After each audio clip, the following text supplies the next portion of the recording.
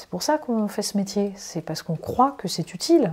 On croit que, ça apporte quelque chose. Moi, je, je suis euh, fondamentalement attachée au journalisme tel qu'il existe, avec tous ses défauts, et Dieu sait qu'il y en a, et je pense qu'il faut faire une autocritique absolument énorme.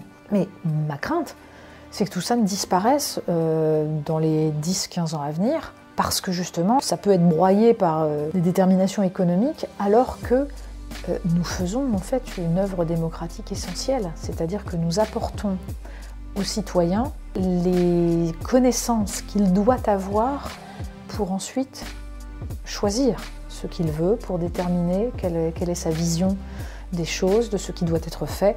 Donc c'est absolument essentiel et c'est vers ça que nous devons être tournés. C'est pour ça que nous devons le faire avec déontologie, c'est parce qu'il nous jouons un rôle dans le système démocratique. Bienvenue dans le podcast des photographes et des créateurs qui veulent vivre de leur passion. Dans ce nouvel épisode, nous parlons de journalisme et de photojournalisme avec Natacha Poloni, directrice de la rédaction du magazine Marianne. Avec elle, nous allons parler de l'univers de la presse et comment se lancer comme professionnel et surtout comment exercer ce métier avec éthique et déontologie. Si cette thématique vous intéresse et que vous souhaitez vous former à l'écriture journalistique, vous trouverez en description le lien vers une masterclass complète sur le sujet. Je vous souhaite une bonne écoute. Donc on est avec Natacha Polony euh, dans la rédaction de Marianne, ici à Paris. Euh, déjà, est-ce que tu peux te présenter, parler de ton parcours?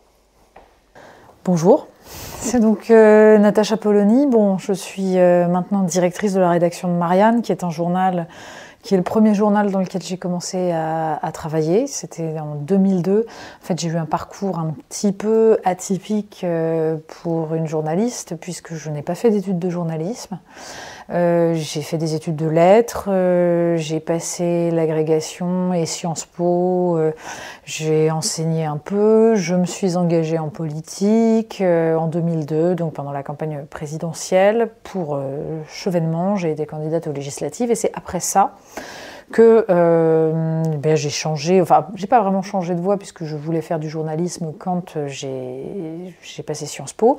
Et donc, je suis retournée à mes premiers amours et je suis allée naturellement vers le journal qui, bah, qui répondait à, ma vision des choses, qui correspondait à mes idées. Et, c'est là que j'ai appris véritablement le journalisme. Euh, Marianne, à l'époque, euh, n'avait plus personne pour traiter l'éducation. Il se trouve que j'avais été prof, que c'était le, domaine qui me, qui me passionnait. Donc, euh, on m'a demandé de traiter ce ce secteur-là, mais l'avantage à Marianne, c'est que c'était un journal où on pouvait traiter différents secteurs, où on pouvait s'intéresser à tout. Donc j'ai fait des, enquêtes sur l'hôpital public, j'ai fait des, des papiers culture, des enquêtes dans les pages idées, voilà, en même temps que les reportages que je faisais dans des collèges, lycées, etc. Et donc voilà, j'ai passé sept ans à l'époque à Marianne, euh, que j'ai quitté après le départ de Jean-François Kahn, parce que euh, le journal n'était plus tout à fait le même, je ne m'y reconnaissais plus, je n'étais plus tout à fait euh, en phase avec ce que devenait le, journal. il se trouve qu'à l'époque, j'ai eu la chance de pouvoir aller au Figaro, qui évidemment correspondait moins à mes idées, mais j'ai toujours malgré tout été très libre d'y écrire sur l'éducation euh, ce que je pouvais. J'aurais pas forcément pu dans un autre domaine. Mmh. Mais en éducation, il y avait des, possibilités. C'était un sujet où on était euh, plus libre. Et puis, euh, et puis ensuite, pendant que j'étais au Figaro, il se trouve que j'avais écrit quelques livres que, et que donc j'ai été invitée sur des plateaux de télévision et c'est comme ça que je me suis retrouvée donc chroniqueuse chez Ruquier, puis, puis ensuite on m'a confié la, la revue de presse d'Europe 1. Enfin, voilà, voilà le, parcours à peu près. Et me revoilà donc euh, à Marianne après un parcours qui m'a permis de voir donc la télé, la radio, de fonder ma web TV. Euh, et je suis revenue à la maison.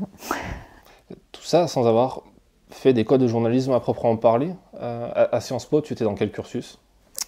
À Sciences Po, j'avais commencé dans le cursus. Au départ, je m'étais inscrite dans le cursus euh, service public, tout simplement parce que je venais donc de démissionner de l'éducation nationale et euh, j'avais dans l'idée qu'il fallait, enfin, qu'il fallait réparer ça. que on se, enfin, qu'il y avait un devoir à être utile et que donc j'allais servir mon pays. Bon, j'ai tenu assez peu de temps euh, aux côtés des futurs énarques, j'ai compris que ça ne me correspondait pas du tout, que c'était absolument pas ma vision du monde. Euh, je les trouvais totalement hors sol euh, et donc j'ai préféré aller faire différents cours de euh, de sociologie, de, la, voilà, de sociologie, de communication. Euh, de, à l'époque, il n'y avait pas de véritable cursus de journalisme. Bon, il y avait un, module de journalisme que j'ai suivi, euh, mais, mais j'ai fait plutôt des, oui, j'ai suivi plutôt des cours de, voilà, de sociologie. Comment tu t'es formé au journalisme? À écrire un article, à développer un angle, faire une enquête? Sur le tas? Sur le tas, mais quand je suis arrivée à Marianne, euh, donc euh, on m'a dit voilà, bah, écoutez, euh, proposez-nous des sujets. Et bon, j'avais, lu le journal, je voyais comment il fonctionnait, quelles étaient ses, façons de, penser les sujets. Et donc, je, me souviens, le premier sujet que j'ai proposé, je leur ai dit bah, écoutez, je peux vous faire un dossier sur les 10 mesures pour sauver l'école républicaine. Ils m'ont dit banco. Et donc, euh, j'ai passé un mois à aller interroger absolument tout le monde. C'est-à-dire que j'ai compris, personne ne m'a expliqué qu'il fallait accumuler les interlocuteurs, aller voir euh, les, différents points de vue, parler à des professeurs, à des parents, à des, penseurs de l'école, différents types de professeurs dans différents établissements. Voilà, et donc j'ai construit mon, article euh, comme ça, euh, fondé vraiment sur de, oui, sur de l'enquête. Et après, bah, quand euh, j'ai dû faire, je me souviens très peu de temps après, j'ai fait mon premier reportage véritablement. D'abord, entre-temps, on m'a demandé de faire donc, les 10 mesures pour sauver l'hôpital public. Donc là, c'est pareil, je suis allée partout. Je suis allée dans des hôpitaux, j'ai passé des heures avec des aides-soignantes, avec des infirmières, euh, avec des, grands mandarins. Euh, voilà, c'est. Je pense qu'on on comprend assez vite. Il n'y a pas besoin d'être, euh, d'avoir eu de cours pour comprendre que l'important c'est la curiosité, c'est de passer du temps surtout. Je pense que ce que j'ai appris, c'est qu'on tirait de l'information quand on passait du temps avec les gens. Parce que quand on est dans un domaine qu'on ne maîtrise pas forcément euh, même si bon, j'avais quelques connaissances sur le milieu médical, mais c'était la première fois de ma vie que je mettais les pieds dans un hôpital euh, de cette façon-là en tant que journaliste. Mais quand on, voilà, quand on a un petit peu bah, de, d'abord d'empathie pour les gens, on comprend que c'est au bout de deux heures de discussion qu'ils commencent à se livrer vraiment. Donc il faut, il faut euh, gratter des pages et des pages et des pages d'interviews avant de, tirer exactement euh, ce qu'ils ont vraiment à dire, leur vision des problèmes. Hein. Donc, euh, je sais pas, ça se fait au fur et à mesure. Euh, à force de faire des reportages aussi, on comprend petit à petit, apprend assez vite l'importance de, j'allais dire, de la parole, du fait que les gens se livrent et qu'on leur doit de restituer leur parole véritablement et honnêtement. Euh, le fait qu'on a une responsabilité face à certains propos qui sont tenus, enfin, ce sont des tas de choses qu'on apprend assez, enfin oui, qu'on apprend assez rapidement et je crois beaucoup. Mais de même d'ailleurs que le métier de professeur euh, est un artisanat, bah, c'est la même chose. C'est-à-dire qu'on a, on, a des formateurs, des maîtres. C'est-à-dire que quand on écrit ces premiers articles, on est relu. On est relu par des rédacteurs en chef qui font des commentaires, qui vous disent bah non, là, là ça, tu ne peux pas le formuler de cette manière-là, qu'est-ce que tu voulais dire Petit à petit, ça, se construit. Ça s'est passé comment justement, les premières relectures de tes articles? Parce que je sais que dans les rédactions, pour avoir fait plusieurs stages au début, comme euh, c'est un peu le, parcours classique, euh, tu peux avoir face à toi des gens qui sont très, très directs, tu vois, qui vont te dire ça c'est complètement nul, euh, réécrit. Bah, alors, j'ai peut-être bénéficié du fait que moi, je n'arrivais pas comme toute jeune journaliste. J'avais déjà un parcours avant. C'est-à-dire que j'avais déjà un certain âge, j'avais euh, euh, été professeur, j'avais une agrégation de lettres, j'avais été euh, candidate à des élections, j'avais un parcours politique. Donc je pense que je n'ai pas subi ce que subissent des jeunes journalistes.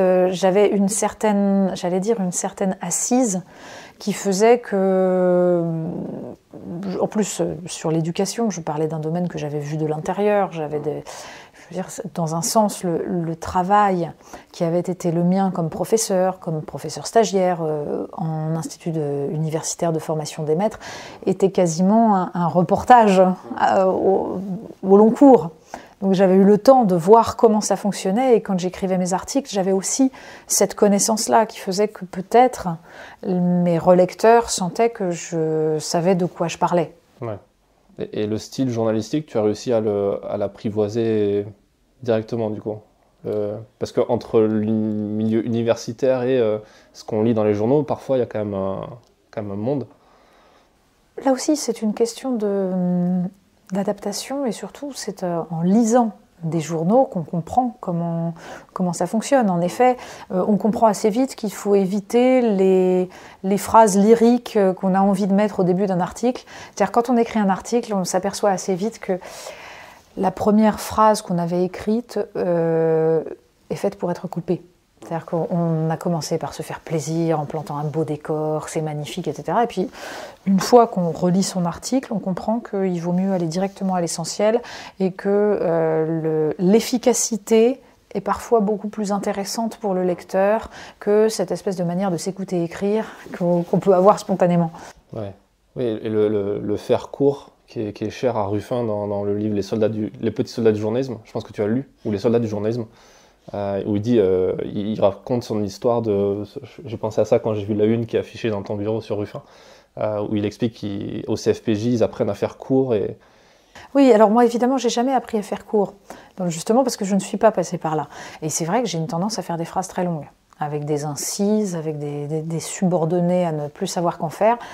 Euh, mais dans un sens, là pour le coup, je tiens beaucoup, moi, à la diversité des styles dans le journalisme. Et je pense qu'il n'y a rien de pire que le formatage, l'uniformisation. Euh, il y a eu diverses tentatives, même à Marianne, hein, pour, euh, pour embaucher ce qu'on appelle des rewriters. Parce que quand on veut être moderne, on parle anglais. Donc, un type qui vient et dont le boulot est d'uniformiser le style. Bon, en l'occurrence, celui qui avait été embauché a ajouté des fautes de grammaire dans mes papiers, ce qui m'avait mis un peu de mauvaise humeur. Mais, mais à part ça, je, Bien entendu qu'il y a un travail de réécriture chez certains journalistes, on en connaît tous, qui sont d'excellents enquêteurs.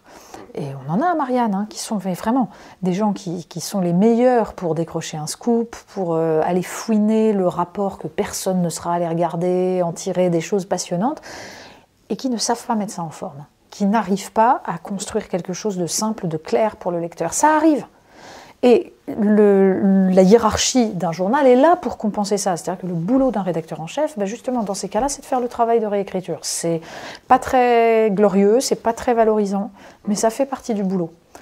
Et simplement, ça permet justement à tous les types de journalistes d'exprimer ce qu'ils ont à exprimer. Encore une fois, quelqu'un qui ne sait pas bien écrire peut être le meilleur journaliste qui soit parce qu'il va apporter des infos que les autres ne sauront pas apporter. Oui, quelque part, le métier de journaliste peut être, euh, euh, euh, fait par n'importe qui au final. Et d'ailleurs, c'est un peu le problème aujourd'hui, c'est que n'importe qui se dit journaliste. Il y a le cas de, je crois avoir vu dans l'un de tes éditoriales sur Tar. Tahabouaf. Voilà. sur le fait que, que, cette personne se disait journaliste et sous prétexte qu'elle rapporte l'information, euh, mais au final, le journalisme, c'est un peu plus compliqué que ça euh, sur, le, sur le fond. Il y a rapporter l'information et puis mettre en forme avec une certaine éthique.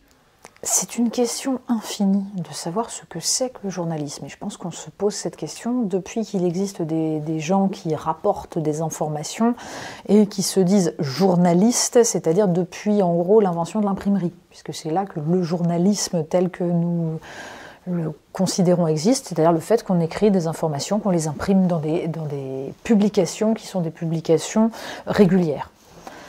Euh, qu'est-ce qui aujourd'hui caractérise un journaliste dans une période où en effet n'importe qui peut diffuser de l'information?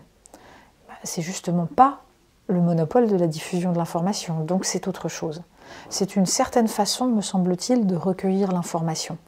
C'est-à-dire euh, non seulement d'aller chercher des faits, de les raconter, euh, de les mettre en forme, de façon à ce qu'ils soient intelligibles, à ce qu'on comprenne pourquoi ces faits-là se sont passés, mais c'est aussi une façon d'analyser les faits de les faire raisonner les uns avec les autres, de les organiser une, euh, au, sein d'une réflexion, quasiment d'une vision du monde.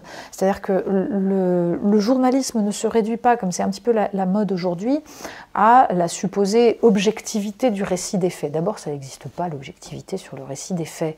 C'est-à-dire que à partir du moment où on raconte un fait, on le médiatise et donc il y a une subjectivité qui entre en jeu.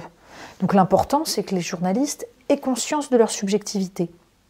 Or, on est dans cette mode du supposé journalisme à l'anglo-saxonne qui consiste à dire mais moi je suis objectif, je raconte les faits et uniquement les faits. Il n'y a rien de pire que ça parce qu'en général les gens qui disent ça sont ceux qui au fond euh, vous font passer leurs idées en fraude. C'est-à-dire vous font croire qu'ils sont objectifs euh, mais n'ont absolument pas conscience ou ne veulent pas voir que leur idéologie les guide.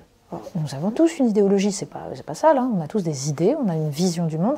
Donc ce qui compte, c'est pas l'objectivité. Ce qui compte, c'est l'honnêteté intellectuelle.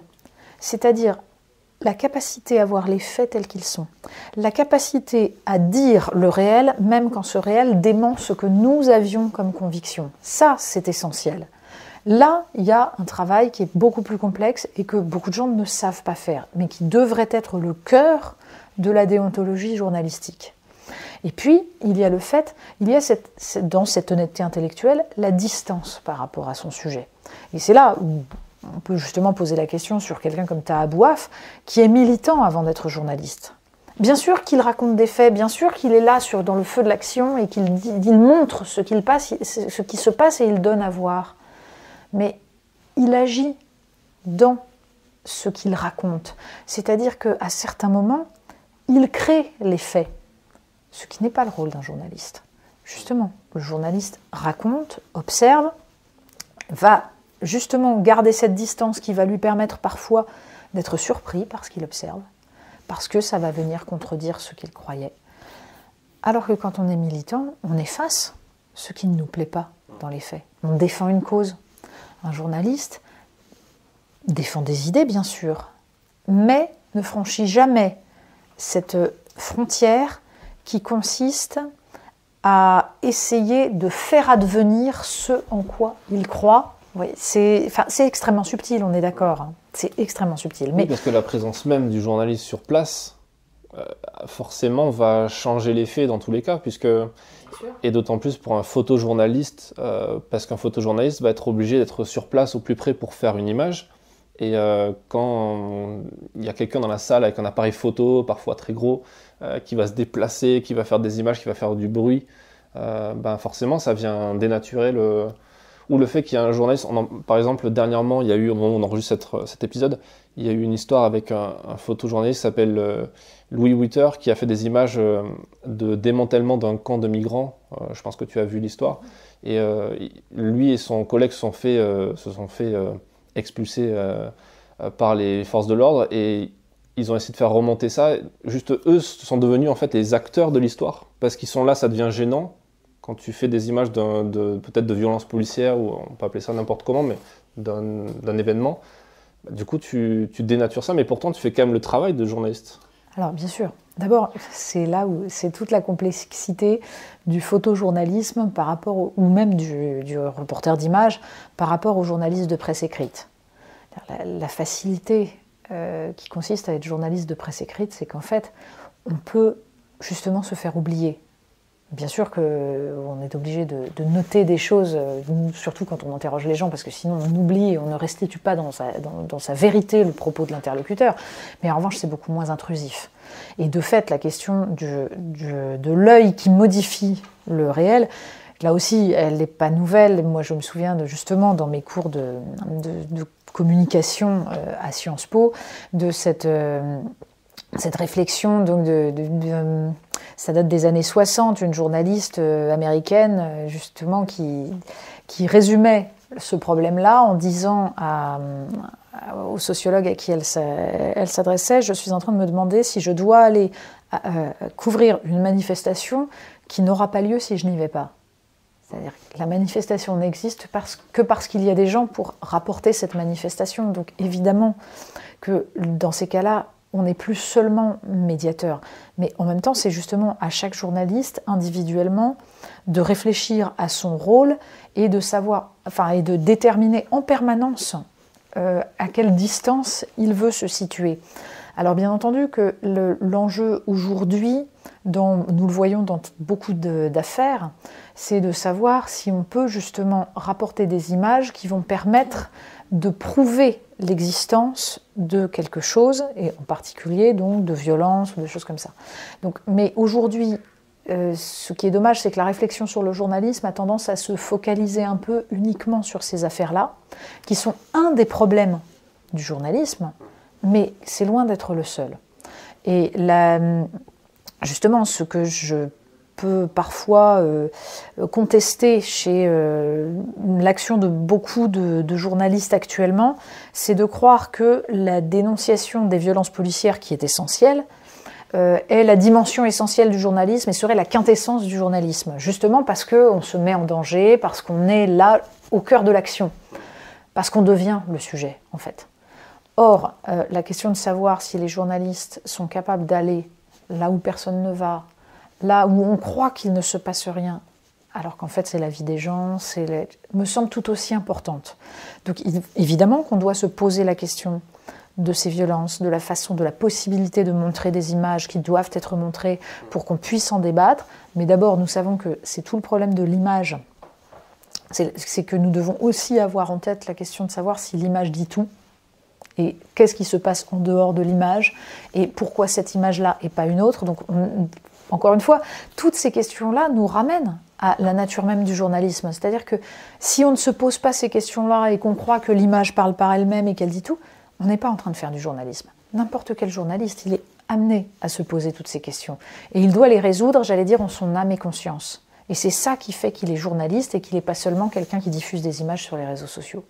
il est responsable de ce qu'il diffuse, il sait pourquoi il le fait, il sait quelles en sont les limites. Voilà, il, y a, en cela un travail et une déontologie. Je crois que ça, c'est très important. Mais je crois aussi très important de considérer que la question de savoir si le journalisme peut s'exercer ailleurs que sur ces thématiques qui aujourd'hui focalisent euh, l'actualité est essentielle. Parce que moi, ce qui m'inquiète, par exemple, sur le photojournalisme, c'est au moins autant ces questions de possibilité de filmer, de montrer des images des violences policières, que la question de savoir si les médias ont encore suffisamment d'argent pour payer un reportage photo au long cours, pour payer un photographe qui va aller couvrir, euh, par exemple, dans telle campagne reculée, dans telle banlieue, dans voilà, la, vie des gens dans sa réalité, des choses qui sont moins spectaculaires. Mais le journalisme, c'est pas que le spectacle, et c'est aussi justement ce, qu'on a, trop tendance à oublier et qu'il faut pourtant montrer. Ou même la question de savoir si euh, les médias euh, ont encore de quoi payer du photoreportage à l'étranger. Ce qui est un truc qui aujourd'hui euh, bah, coûte cher. De plus en plus de médias n'ont pas de quoi. Et là aussi, nous le savons, ce qui n'est pas montré n'existe pas. mais c'est un enjeu majeur toute la couverture de la, guerre en Syrie, par exemple, nous a prouvé à quel point l'interdit qui pesait sur certains territoires nous empêchait de dire exactement ce qui s'y passait, de savoir réellement qui avait fait quoi, quelles étaient les, forces en présence. Et à partir de là, on, sait très bien que les manipulations peuvent être absolument immenses. Or, euh, nous sommes tributaires non seulement évidemment des décisions, de, quand il s'agit de, zones de guerre, des décisions des forces en présence, etc., mais nous sommes aussi tributaires bah, tout simplement d'un modèle économique qui aujourd'hui est en train de fragiliser le journalisme en empêchant ce journalisme, j'allais dire, euh, de long cours, euh, de temps long, qui est normalement le cœur du métier. C'est super comme transition parce que je voulais justement t'interroger sur, euh, sur cette question. Toi, en tant que, que rédactrice en chef ou, directrice de la rédaction Directrice de la rédaction, enfin. Euh, tu es amené à, sélectionner les histoires qu'on te propose et notamment euh, ce que te proposent les pigistes, comme moi par exemple. et, et, tu dois décider de est-ce que ça on peut l'acheter, est-ce que le budget peut le permettre. Alors je pense que je ne sais pas si c'est toi qui décides à ce niveau-là. Je pense que c'est à notre niveau aussi que ça se décide au niveau du budget. Oui.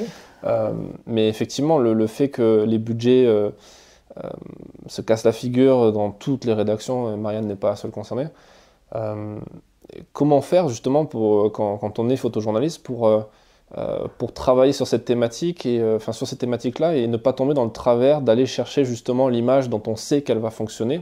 Euh, l'exemple de, la manifestation est, bon parce que on voit toujours la horde de 150 photographes sur une manifestation, dont au final il y en a très peu qui vont réellement vendre des images. Il y a peut-être le mec de l'AFP, de Reuters et de quelques médias.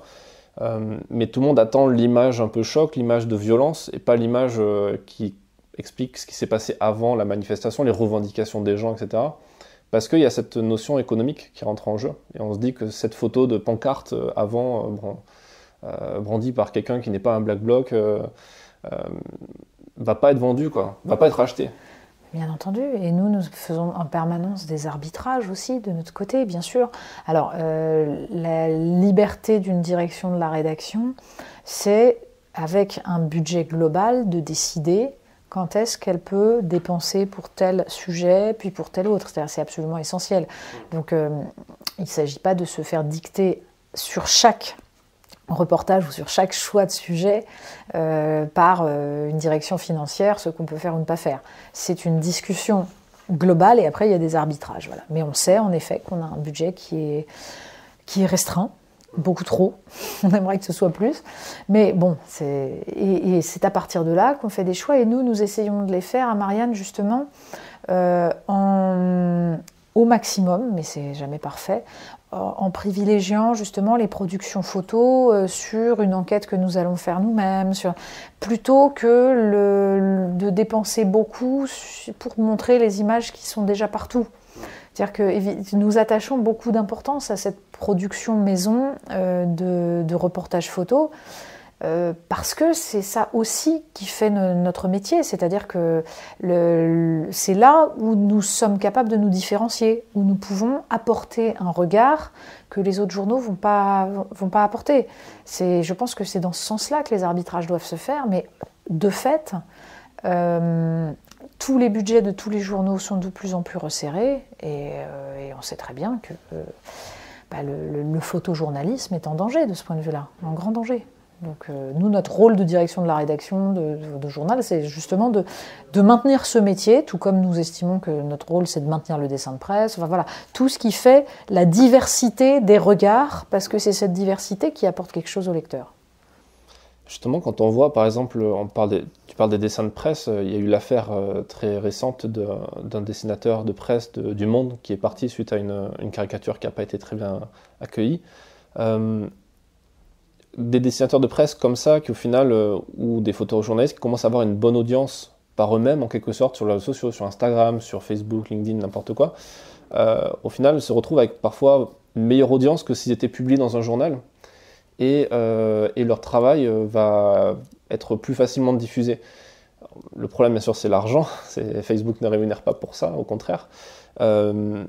Euh, mais est-ce que tu penses que ce métier-là, justement, ou ces métiers-là du journalisme peuvent exister sans le modèle économique de la presse traditionnelle Et est-ce que tu penses qu'on va justement se diriger vers, vers ce modèle-là? Je pense que pour l'instant, on, a une utilisation de ce modèle euh, et de façon euh, tout à fait légitime et intéressante par euh, justement les, photojournalistes et les dessinateurs, et ils ont parfaitement raison. dans la situation dans laquelle ils sont, il faut en effet qu'ils multiplient les canaux de diffusion, et c'est un euh, c'est un jeu d'offres et de demandes et s'ils arrivent à montrer la qualité de leur travail, ça leur permet d'être euh, davantage valorisés dans des journaux et tant mieux et heureusement. Mais on ne peut pas se satisfaire de ça parce que en fait, euh, la diffusion dans un journal reste quelque chose d'absolument essentiel parce que l'intérêt, c'est aussi de, faire euh, coexister le texte, l'image, de les faire se répondre. C'est un travail qui est commun, qui est collégial. Alors bien entendu que toute l'œuvre d'un journaliste, d'un photojournaliste, quand il décide de travailler par lui-même et de publier, euh, par exemple, une série euh, sur une thématique qu'il a choisie, c'est un travail absolument. Parfois, il y, a des, merveilles, il y a des choses splendides qui sont d'ailleurs presque de, qui sont de l'art. Euh, sauf que ce ne sera pas le même type de travail que ce qu'ils peuvent apporter dans le cadre d'un reportage photo qui entre en, euh, en résonance avec, euh, avec le travail euh, du, journalistique du rédacteur et qui est absolument essentiel. C'est pour ça que je crois que nous devons maintenir vraiment ce modèle de la presse, du journalisme, qui apporte des choses que, que les réseaux sociaux n'apporteront jamais. C'est-à-dire que le, pour moi, le, travail qu'on peut faire, par exemple, quand on, quand on va raconter une histoire, je, je pense à un reportage qu'on a pu faire euh, sur euh, euh, une agricultrice, l'histoire avait défrayé la chronique, mais qui était morte de misère, seule dans son, dans, sa ferme. Et nous, nous sommes allés sur place, donc avec un, photojournaliste et avec un reporter, et nous avons raconté tout ça. raconter cette histoire, c'est ça fait partie du travail essentiel des journalistes, mais de même que quand on va aller faire euh, euh, une enquête sur euh, bah, la décrépitude des, infrastructures dans tel ou tel endroit et qu'on va raconter comment vivent les gens avec des routes défoncées, la gare qui a fermé, etc. Et tout ça, on le montre. La désertification des centres-villes dans certains endroits. Là, on a besoin à la fois de l'image, du texte. Et ça, c'est quelque chose que les réseaux sociaux ne donneront jamais, tout simplement parce qu'il faut pouvoir le payer. C'est du budget de payer euh, ce reportage-là pour, pour, euh, que, pour, le donner à lire aux gens. Et le, système des, réseaux sociaux risque de ne valoriser que le spectacle, que ce qui, euh, en effet, peut, peut être admirable comme cela, euh, parfois beau ou parfois euh, choquant, mais euh, ce, quotidien qui est absolument nécessaire à montrer ne sera jamais valorisé ailleurs que, dans la presse. Là, on parle d'un point de vue purement monétaire, enfin purement économique, puisqu'au final, là, à t'écouter, ce que je comprends, c'est que le, c'est que le seul, entre guillemets, intérêt de, de travailler avec un journal, c'est pour avoir son argent. Et le fait que cet argent, enfin, tu vois, le journal joue le rôle de diffuseur. Ben non, c'est pas que ça. Mm. Non, parce que je pense pas que ce soit que le but ce soit de l'argent. Je pense que le but, c'est aussi que on ne montre pas forcément les mêmes choses justement quand on travaille euh, dans un journal et quand on travaille seul. Enfin, je, je pense que c'est pas exactement la même démarche que tout l'intérêt de travailler avec un journal, c'est justement de, j'allais dire, euh, d'adhérer à une œuvre collective qui est une œuvre démocratique, qui est le fait de, donner à voir certaines choses, de, justement de, faire de l'information, de, de dévoiler certaines réalités. Et je pense que c'est ce à quoi nous participons tous en tant que journalistes. C'est pour ça qu'on fait ce métier. C'est parce qu'on croit que c'est utile. On croit, que, on croit que ça apporte quelque chose. Moi, je, je suis euh, fondamentalement attachée au journalisme tel qu'il existe, avec tous ses défauts, et Dieu sait qu'il y en a, et je pense qu'il faut faire une autocritique absolument énorme.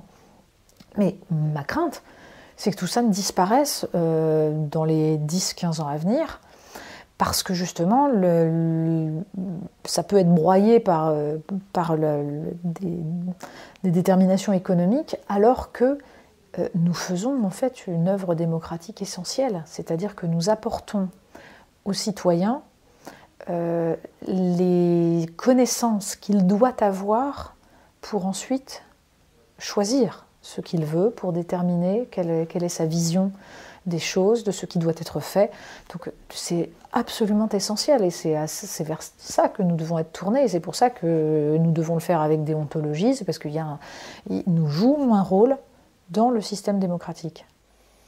Il y a un élément peut-être à rajouter sur le fait que si on devait euh, mettre en face à face l'univers de la presse, la presse écrite et, euh, les GAFA, euh, parce qu'au final ça, peut se résumer à ça, Facebook, YouTube, parce qu'il y a beaucoup de médias qui se créent sur YouTube, par exemple Denis Robert qui est en train de lancer un nouveau média, enfin Abyss, ces GAFA-là sont, enfin, ces sources d'information, ces, ces, sources de diffusion sont drivées par un algorithme. Donc, du coup, qui s'attache juste à l'émotion des gens ou à des calculs mathématiques sur, sur quoi ils vont regarder, sur quoi ils vont rester le plus longtemps possible. Et alors que le journal, euh, comme tu dis, c'est une, une, rédaction entière qui va décider un peu à la place des gens ou qui vont leur proposer quelque chose. Mais alors dans ce cas-là, la question que j'aimerais te poser, c'est euh, on reproche euh, beaucoup, et les citoyens, ou du moins une partie des citoyens, on parle des gilets jaunes, etc., reprochent aux médias d'être, euh, ces équipes de rédaction, de choisir justement pour eux et d'être peut-être à la solde d'un gouvernement, d'un lobby, d'un industriel aussi, puisque la presse est possédée par beaucoup d'industriels. Qu'est-ce que tu réponds, toi, à ça? Sachant que le. Tu vois, je, complète juste le truc. Euh, tu, parles de, faire les bons choix pour le lecteur, d'y apporter toutes les informations qu'il faut, mais tu ne pourras jamais leur apporter toutes les informations parce qu'il y a un processus d'éducation qui va au-delà d'une dépêche d'agence AFP, une photo de presse ou. Alors, euh, il y a beaucoup de choses dans cette question. Euh, D'abord, évidemment, nous faisons un choix. C'est-à-dire que choisir de parler de telle information plutôt que de telle autre, c'est déjà un choix subjectif, idéologique. C'est pour ça que quand on prétend en effet qu'on fait du journalisme objectif et tout, c'est pas vrai le fait même de choisir de parler ça, de ça plutôt que de ça, c'est déjà l'exercice d'une subjectivité. Donc il faut le dire. Oui, nous, à Marianne, nous, ne pouvons pas parler de tout. En plus, nous, on est tout petits, donc euh, de toute façon, on sait très bien qu'on ne pourra pas couvrir toute l'actualité comme les autres. Donc on fait des choix.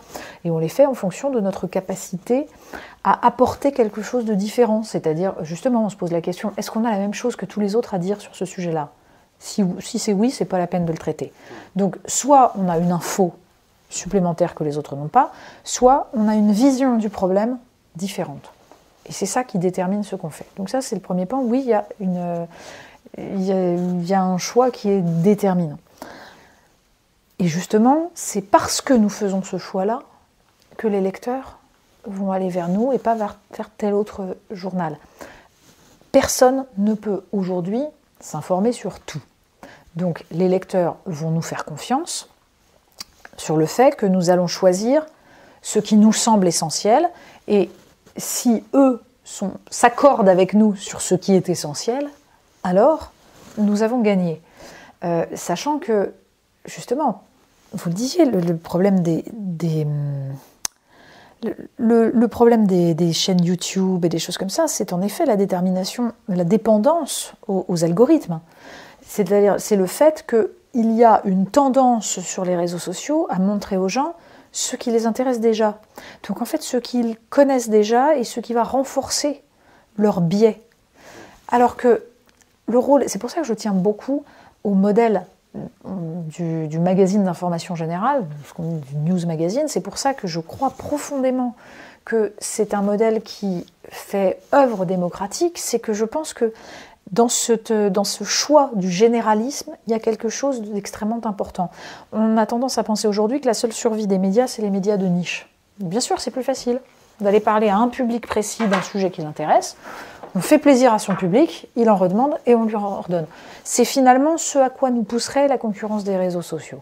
Puisque les réseaux sociaux fonctionnent comme ça, allons-y et on s'adresse uniquement à notre public. Est-ce que ce n'est pas déjà le cas avec la ligne éditoriale Alors justement, c'est tout l'enjeu, c'est d'abord que nous, notre promesse, c'est que nous essayons d'embrasser, non pas la totalité du réel, mais en tout cas tous les domaines. Marianne est un journal qui parle de culture, qui parle de société, qui parle d'économie. Voilà. Parce que nous estimons que même le lecteur qui est passionné par la culture et qui comprend rien à l'économie, si nous l'avons attiré par nos pages culture, s'il les a aimées, il va feuilleter. Et là aussi, D'où l'importance du papier. Il va se promener dans ce journal. Son œil va tomber sur des choses qu'il n'aurait pas forcément lues si il ne serait pas venu les chercher. Donc si on ne lui avait pas mis sous le nez, il ne serait jamais tombé là-dessus. La possibilité de surprendre le lecteur. Et je dirais même la, possibilité de, parfois de le secouer, de le choquer. Le principe, et c'est là qu'on en vient à la question de la ligne éditoriale, et c'est là qu'on en vient aussi à la question, vous disiez, du risque de, en gros de racoler parce que c'est ça le risque, c'est de, faire plaisir à son lecteur, de lui donner ce dont il a envie.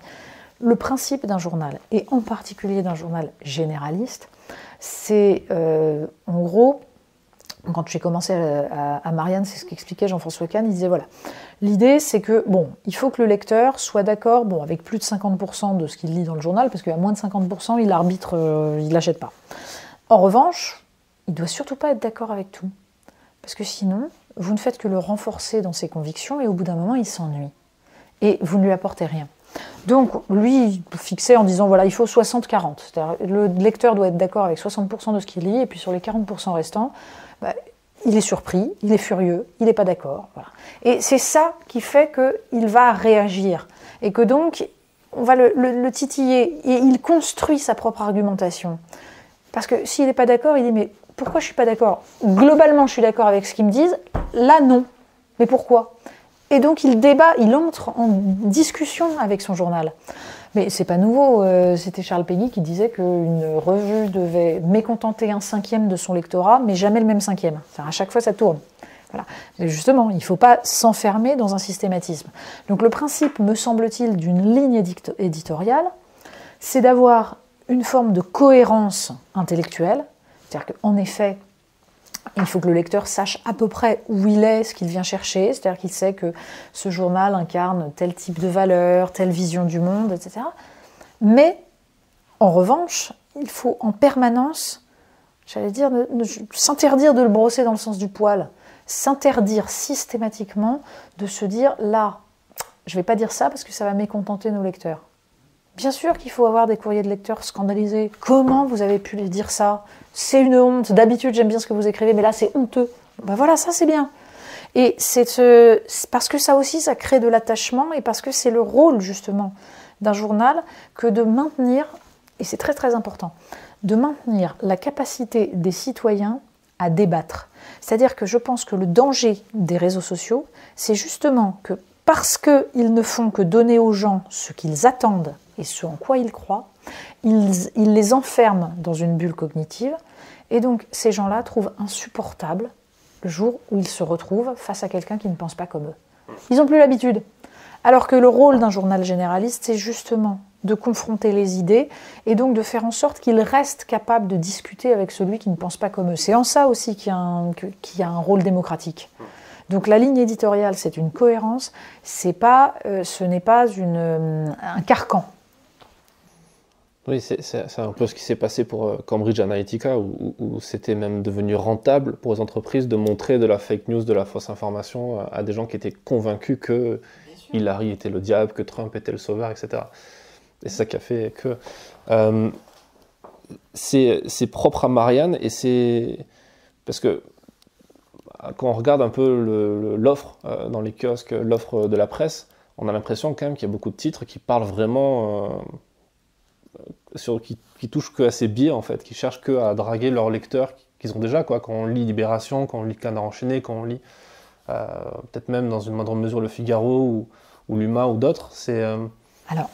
Il faut être honnête, hein, c'est un exercice très difficile de s'interdire de, de, faire plaisir à son lecteur systématiquement, de s'interdire le racolage. C'est un, une, euh, une, forme de, de, travail sur soi permanent. Ben, on y arrive ou on n'y arrive pas. Mais ça doit être en tout cas une ligne de conduite. Nous, on essaye, euh, enfin en tout cas, moi je tiens énormément qu'à Marianne, ce soit la ligne de conduite, de ne jamais sombrer dans la facilité. Euh, je ne sais pas si on y arrive à chaque fois. Peut-être que non, peut-être que nous donnons l'impression parfois d'être dans la facilité, d'être dans la répétition. Nous essayons en tout cas de ne pas l'être. Est-ce que dans les éditos, les qui sont écrits dans Marianne, et même peut-être plus largement, est-ce qu'il y a aussi cette recherche? Ou est-ce que l'éditorialiste est là un peu pour, euh, pour, euh, pour draguer le lecteur, le lecteur euh, classique et lui donner juste ce qu'il veut? Justement non.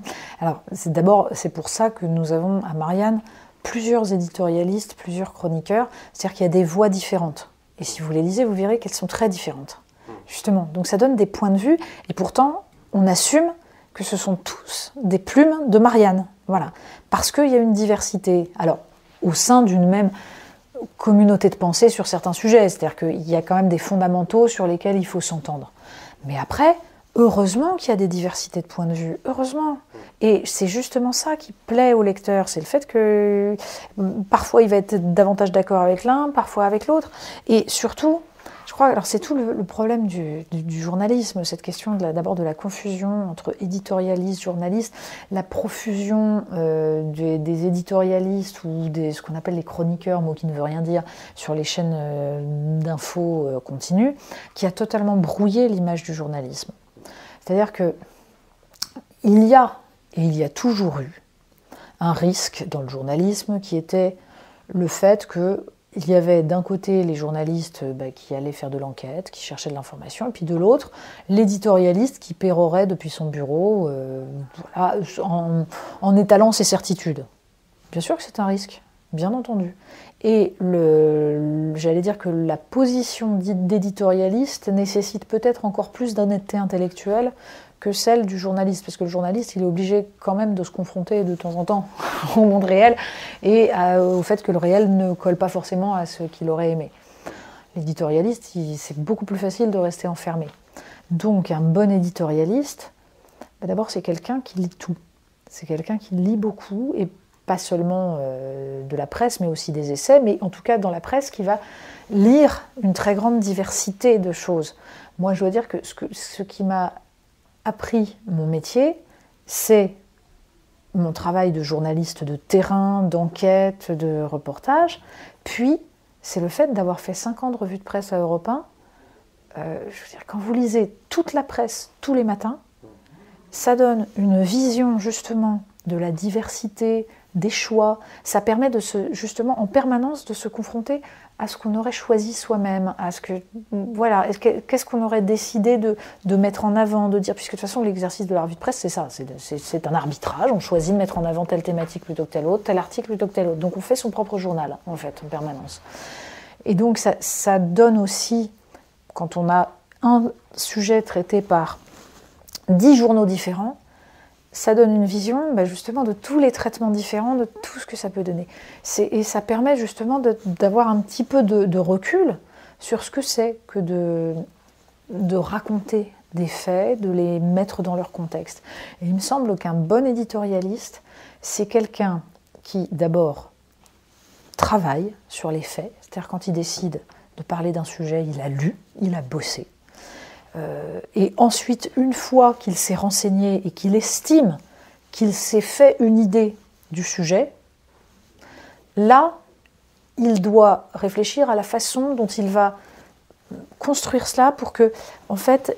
Son rôle, c'est de replacer les faits dans un contexte, de les replacer dans un temps long d'essayer de les articuler avec le reste du réel, c'est de créer des liens, c'est de, dire tel phénomène ne se comprend que si on pense à tel autre. Voilà, c'est d'élargir un peu la vision. Mais ça nécessite un travail en amont. C'est, enfin, je veux dire, moi, quand je vais même sur un plateau de télévision commenter l'actualité, mais je viens pas les mains dans les poches. J'ai bossé avant. J'ai regardé tout ce qui avait été écrit, tout ce qui était lu. Je lis le travail des autres journalistes, de ceux qui ont enquêté. Je m'appuie sur ces enquêtes, bien entendu. Alors, ça nécessite de faire confiance aux autres journalistes. C'est-à-dire qu'on est obligé à un moment donné, puisqu'on n'est pas soi-même euh, sur le terrain à faire l'enquête, bah, ça nécessite de se dire qu'il faut faire confiance, euh, il faut que le journaliste en question ait bien fait l'enquête, parce qu'on peut appuyer tout un raisonnement sur des choses fausses. Mais bon, si on part du principe que les journalistes font à peu près bien leur travail, ben, le travail de l'éditorialiste s'appuie sur tout cela. Donc c'est pas hors sol, c'est pas, euh, pas une péroraison sur, sur n'importe quoi, absolument pas. Enfin, il y en a beaucoup qui le font. Et le système médiatique amplifie ça. C'est-à-dire qu'à partir du moment où vous avez des chaînes d'infos qui ont besoin de, disons, de monopoliser du temps d'antenne avec euh, des gens qui commentent, vous induisez un discours sur du vide qui abîme toute l'image du journaliste, du journalisme. C'est-à-dire que dans la tête des gens, le maître étalon du journalisme aujourd'hui, c'est le commentateur d'actualité sur le plateau de chaîne d'infos continue. Et on l'a vu pendant la crise des Gilets jaunes. C'est-à-dire qu'il y a des journalistes qui se sont fait agresser, frapper, euh, comme étant des pourris, des vendus, alors même qu'ils étaient plutôt sociologiquement et idéologiquement du côté des Gilets jaunes. Voilà. Mais ça, c'est un malentendu terrible qui vient de ce système qui est un système en fait économique aussi. Pourquoi? C'est parce que les chaînes d'infos euh, bah, font euh, au moins cher et que le moins cher, c'est justement de ne pas faire du reportage d'image, de ne pas faire du travail d'enquête, c'est de faire du plateau télé avec des gens qui parlent. Ça, vaut, ça, coûte beaucoup moins cher. Est-ce qu'il n'y a pas le même le problème vient pas aussi de l'éducation du journaliste? Parce que alors si on se base sur l'expérience de Ruffin qui est, très plaisante à lire mais je pense qu'il est pas forcément qui est très biaisé euh, de par ses et on le voit maintenant c'est devenu un homme politique plus un journaliste euh, mais mine de rien, quand on fait un cursus de journalisme, euh, je suis passé par Sciences Po aussi, pour le coup en master journalisme, et c'est vrai que même sur un parcours de, où il y a beaucoup de culture générale, de, de matières transversales, qu'il n'y a pas dans des écoles de journalisme classiques, ben, même là, il y avait quand même cette volonté de faire plus court, faire au plus facile parfois, pas pousser vers quelque chose d'une enquête, tu vois. Bah, bien sûr. Enfin, on a de toute façon un problème majeur de culture générale parce que je pense que la qualité du journalisme s'appuie sur ce qu'on peut appeler la culture générale, c'est-à-dire culture historique, culture politique, donc du recul, la possibilité d'échapper au, flux de communication qui existe aujourd'hui. Euh, ça nécessite d'abord une très grande maîtrise de la langue. C'est-à-dire qu'on est dans un monde où les communicants ont pris le pouvoir absolument partout, et notamment en politique. Mais si vous ne maîtrisez pas suffisamment la langue, alors vous allez avoir tendance à accepter les mots des communicants et à les reprendre parce que vous n'en avez pas d'autres. Et ça, on le voit tout le temps dans le journalisme, et c'est profondément dangereux. Mais c'est pour ça d'ailleurs que je pense que les écoles de journalisme sont un très mauvais modèle. Parce que, euh, évidemment, qu'elles permettent de former des techniciens et on a besoin de techniques, notamment euh, en reportage d'images, euh, en radio, etc. Je suis entièrement d'accord. Mais c'est un formatage qui, en fait, a fait perdre l'essence du journalisme qui était la diversité des parcours. C'est intéressant dans une rédaction d'avoir des gens qui n'ont pas fait d'école de journalisme, qui n'ont pas, qui n'ont pas fait que du journalisme, qui sont passés par d'autres choses, qui ont vu d'autres réalités, d'autres milieux sociaux, d'autres milieux professionnels. Ça apporte quelque chose et il faut absolument maintenir cette diversité. Euh, bien sûr qu'il y a une, euh, j'allais dire une rigueur, un métier, mais je le disais tout à l'heure, le métier, il s'apprend sur le terrain, il s'apprend sur le tas. Et quand on a des, qualités de curiosité, d'empathie, d'honnêteté intellectuelle. finalement, sur la technique journalistique, elle s'apprend assez vite, on comprend assez vite ce que c'est. Euh, en revanche, euh, bah, la culture, il faut plus de temps pour l'apprendre. Et, surtout, vraiment, j'y insiste, la capacité à résister à la communication. Et ça, je pense qu'on est en train de de perdre du terrain là-dessus. Je suis souvent frappée de voir que beaucoup de, jeunes journalistes euh, ne vont pas tiquer face à l'extension de l'usage d'un mot. Bon, là, on l'a vu avec le coronavirus, on a, tout un vocabulaire qui nous a été imposé et qui s'est imposé avec une rapidité absolument dingue. Euh, la, distanciation sociale. Mais quand on y pense, quel est le taré qui a inventé ce, terme distanciation sociale? C'est de la distanciation physique. Donc le fait d'avoir choisi le mot distanciation sociale dit quelque chose du projet. Bon, bah, quand on a des journalistes qui reprennent ça sans jamais interroger cela, ça me semble problématique. Donc on doit avoir des débats de cet ordre-là. Est-ce que ça vient pas du fait que de plus en plus de communicants, d'attachés de presse, de directeurs des communications, de directeurs de cabinet sont des anciens journalistes qui sont passés par, ça, par là et en fait qui, ont, qui sont passés du côté obscur de la force parce qu'ils étaient mieux payés? En fait, c'est une réalité aussi. Parce que être pigiste pendant un an, cinq ans, dix ans, c'est rigolo. Mais au bout moment, quand on veut fonder une famille, quand on a besoin de revenus stables, et que d'un côté, vous avez euh, la possibilité éventuellement de vendre quelques piges à quelques dizaines, quelques centaines d'euros, et euh, le un boulot fixe, euh, bien payé, avec une évolution de carrière, etc., etc.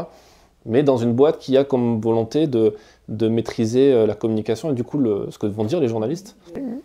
La question économique, elle est centrale. De toute façon, tout à l'heure, j'ai, comme j'ai répondu à plein de questions en même temps, j'ai pas répondu à une question majeure.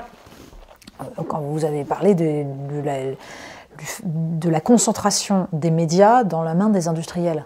Enfin, je veux dire, c'est un problème majeur, énorme. C'est le. Alors, il faut comprendre pourquoi on en arrive là. C'est-à-dire, en plus, c'est la concentration des médias dans la main d'industriels qui ne sont pas des industriels de la presse. Parce que euh, avant, il y avait des groupes, des, industriels de. On en pense qu'on en veut, mais enfin, Hersan, euh, voilà, c'était un, homme de presse. Là, c'est même plus le cas. C'est des gens qui, qui, vendent des armes, qui vendent des, téléphones, des centrales à charbon, des. Qui ont un mépris pour la presse aussi. Quand on voit, par exemple, Patrick Drahi quand on voit les tractations pour acheter BFM, etc., il y a vraiment un, mépris annoncé, clairement, ou quand on voit Bolloré qui, qui, qui va jusqu'à menacer presque les journalistes. Alors, bien, sûr, bien entendu. Et tout le problème, c'est que on a des, des, médias, et en particulier des journaux, des journaux qui petit à petit ont vécu de moins en moins de leur lectorat. C'est-à-dire qu'on euh, les voit perdre des lecteurs pour des raisons qui sont, dont on peut débattre, mais je pense qu'il y a eu, euh, il y a eu des, des dérives, des erreurs, etc., qui font que euh, petit à petit, le, lectorat s'érode. Bah, donc il reste quoi? Il reste l'actionnaire et la publicité j'allais dire, c'est presque pire en fait, les annonceurs. C'est-à-dire que la dépendance aux annonceurs, c'est c'est encore plus dangereux que le fait d'avoir un, actionnaire, enfin ça dépend quel est l'actionnaire, parce qu'en effet, Bolloré est un actionnaire omniprésent. Voilà, il y en a qui sont un peu plus discrets que ça. Euh, moi je me souviens de Jean-François Kahn qui racontait euh, Serge Dassault, euh, furieux, qui disait Enfin, je, ne comprends pas, euh, Nicolas Bétou, qui à l'époque dirigeait le, Figaro, ne me prend même pas au téléphone, c'est un scandale, j'ai acheté ce journal, je, voilà, je dois pouvoir y, faire des choses.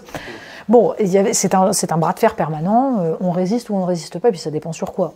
Voilà. Ça, bien entendu. Mais, mais en revanche, la dépendance aux annonceurs, elle est, j'allais dire, elle est plus pernicieuse.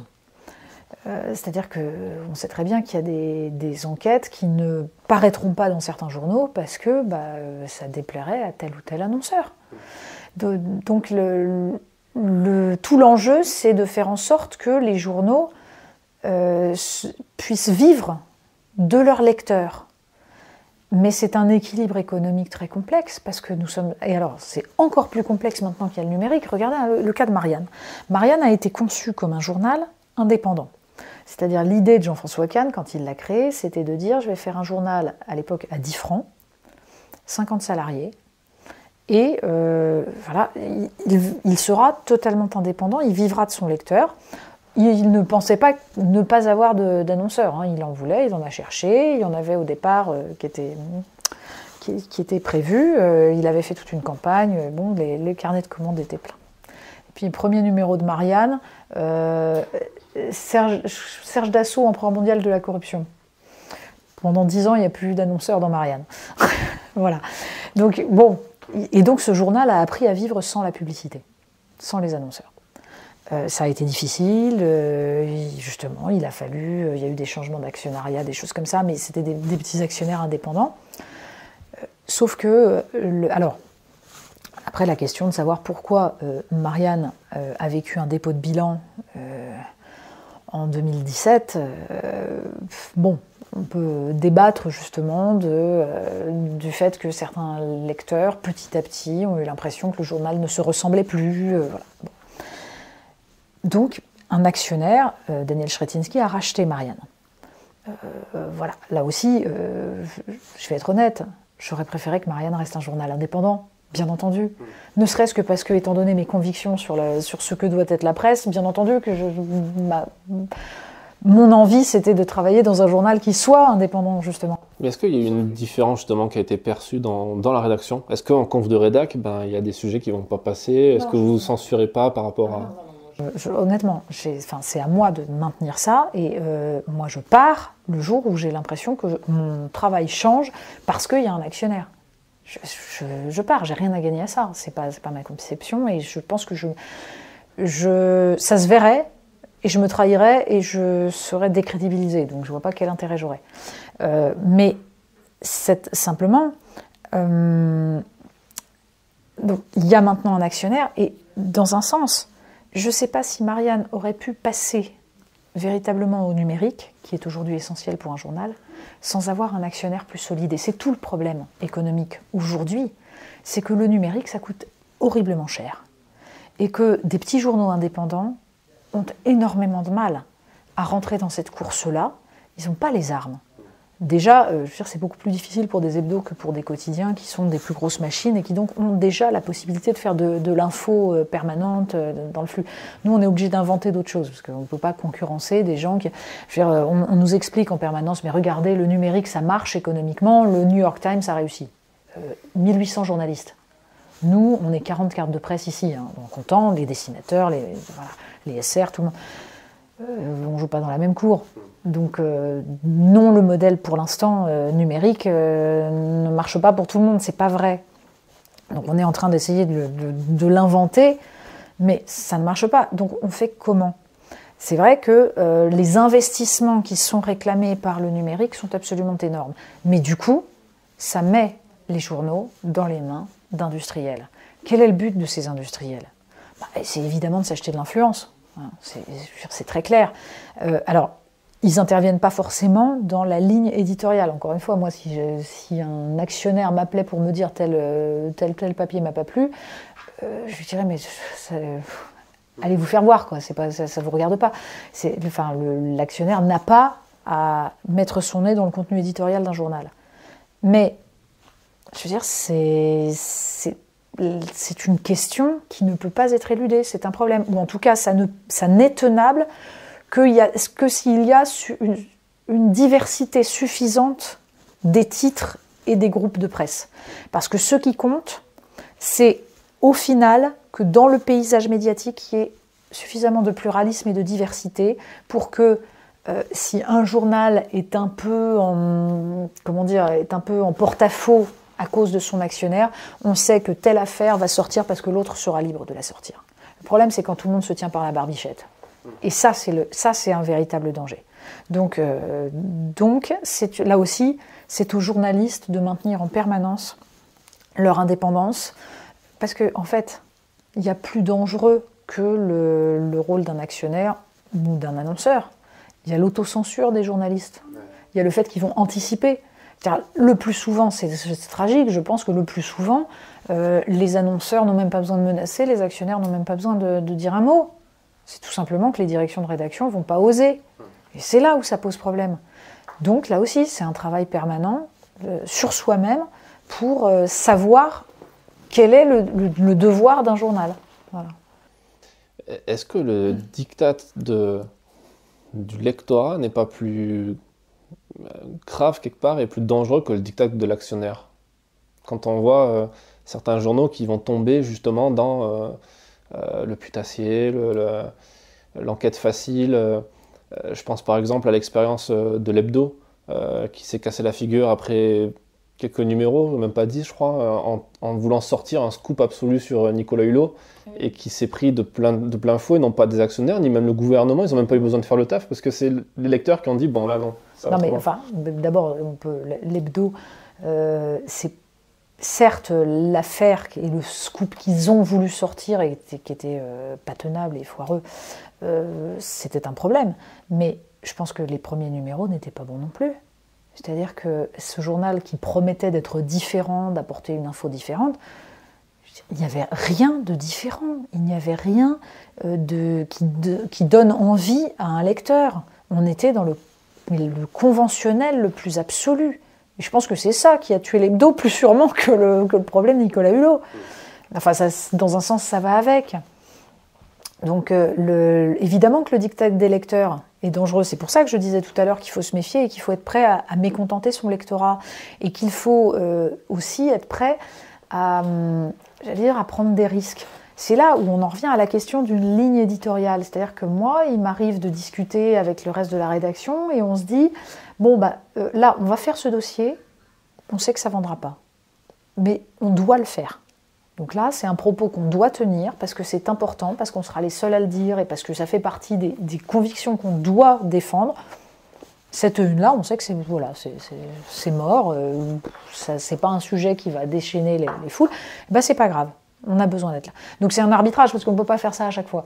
Mais, et puis parce qu'on peut espérer quand même qu'il y a des fois où, sur des sujets qui nous tiennent à cœur, où on estime qu'on doit être là, bah, les lecteurs aussi estiment. Mais il y a des fois où, en revanche, on va leur apporter quelque chose auquel ils s'attendaient pas et peut-être qu'ils ne seront pas réceptifs. Ça arrive aussi. Et, il faut savoir le faire. Mais c'est sur le long terme qu'on construit une cohérence. C'est-à-dire que c'est justement, c'est comme, comme euh, en télévision. Je veux dire, si on a le nez collé sur les audiences à chaque émission, mais on est mort. Justement, la, télé a été tuée par ça. Donc euh, la presse écrite euh, ferait bien de se méfier aussi. C'est-à-dire que ce qui compte, c'est pas sur chaque numéro de se dire oh là j'ai vendu, j'ai vendu, j'ai vendu. C'est de se dire est-ce que sur une année, sur deux années, j'ai réussi à conquérir un lectorat, c'est-à-dire à montrer aux gens que euh, j'avais quelque chose à leur dire? C'est beaucoup plus intéressant. Moi, quand je suis arrivée ici, j'ai Jacques Juillard qui m'a dit, vous savez, quand euh, on fait une, un changement une éditorial, quand on veut reconstruire une, ligne éditoriale d'un journal, ça, prend au bout de deux ans. Moi, je me suis dit, mon Dieu, mais c'est horrible, c'est infini comme temps. Ben, en fait, je pense qu'il avait raison. Je pense qu'il avait raison. Là, maintenant, ça fait plus de deux ans que je suis là, et je vois que ça y est, on a reconstruit quelque chose, et il y a un lien qui s'est fait avec les lecteurs, et euh, il y a des hauts et des bas, mais globalement, euh, on a l'impression que euh, cette cohérence a été perçue par les lecteurs. Et donc, ça ne se joue pas au jour le jour. Moi, j'adore cette phrase de, Jean Jaurès. Euh, c'est à nous de fatiguer le doute du peuple par la persévérance de notre dévouement. C'est-à-dire que ça se joue sur le long terme. Fatiguer le doute du peuple. je trouve cette phrase absolument magnifique. Mais voilà, on va le faire sur le long terme, on va tenir. Il y a, il y a une ligne à tenir, c'est-à-dire qu'il y a un respect du lecteur à montrer tous les jours. Et c'est parce que, au bout d'un moment, ils s'apercevront que on se donne du mal, qu'on fait des enquêtes de fond, qu'on a amélioré la qualité, parce que c'était ça aussi l'enjeu, c'était de, refaire de Marianne un journal qui apportait de l'information, qui faisait des dossiers de fond avec du contenu, alors que Marianne, c'est vrai, a toujours eu cette image d'un journal où en gros on construisait un dossier avec euh, une idée, euh, trois affirmations, et puis hop, emballer, c'est pesé. Bon, voilà. Mais nous, depuis qu'on est là, l'idée c'est de dire, voilà, on fait de la qualité on ne ment pas au lecteur, on va lui apporter des dossiers de fond, c'est compliqué, c'est des choses un peu ardues parfois, euh, voilà. Mais in fine, il s'y retrouve. Ben, ça prend du temps. Ça vient pas de façon magique euh, immédiatement. Voilà. Donc c'est, un contrat sur le long terme avec le lecteur. Est-ce que ça vient pas, cette, longueur, ce travail de longue haleine, du, du fait d'avoir un média papier? Euh, est-ce que quand vous avez lancé la, chaîne YouTube ici, est-ce que ça n'a pas donné un petit coup d'accélération? Parce qu'on a l'impression qu'avec YouTube, avec les réseaux sociaux, tout s'est accéléré et que les gens sont capables de changer d'avis euh, presque d'une vidéo à l'autre, du jour au lendemain. Même là, je suis pas sûre. Je suis pas sûre. C'est-à-dire que moi, on m'a toujours expliqué qu'il fallait, faire court, qu'il fallait faire un peu racoleur. Mais même en vidéo, c'est pas vrai il y a un appétit énorme pour les trucs de long, pour le temps long, la qualité. Je ne parle pas du format, de la longueur du format, je parle de la longueur, de, la rapidité de la fréquence plutôt. Le, fait qu'on peut être en mesure de sortir une vidéo tous les jours plutôt qu'un magazine papier toutes les semaines. Et du coup, le temps s'efface en fait. Euh. Ça se complète. C'est des façons de parler aux gens différentes, mais qui, se, qui viennent se compléter et ça ça ne remplace pas. Justement, la, la difficulté d'ailleurs, parce que c'est pas évident, c'est de gérer les différentes temporalités, surtout dans une toute petite rédaction comme ici. Et je disais, les, quotidiens, finalement, c'est beaucoup plus facile pour eux, puisqu'ils étaient déjà dans cette, accélération du temps. Euh, nous, euh, on, a des journalistes qui ont commencé leur carrière euh, il y a très longtemps, donc qui étaient uniquement dans le temps long. Il y a parfois une révolution culturelle à faire. Mais euh, il est hors de question de courir après cette immédiateté. Euh, c'est justement ça qui a tué la, presse. Je voyais, j'ai travaillé au Figaro, j'ai vu ce que ça donnait. Hein, le, enfin, le truc le plus épouvantable, c'est les, notifications, euh, les, les qui font qu'il faut être le premier à, envoyer la notification sur une info. Donc en gros, le journaliste, on lui demande de balancer son truc sur la notification, puis de faire un tout petit papier sur le site internet, puis ensuite il fera le travail pour faire un vrai article. Bon, nous, heureusement, on est trop petits pour rentrer dans cette course-là.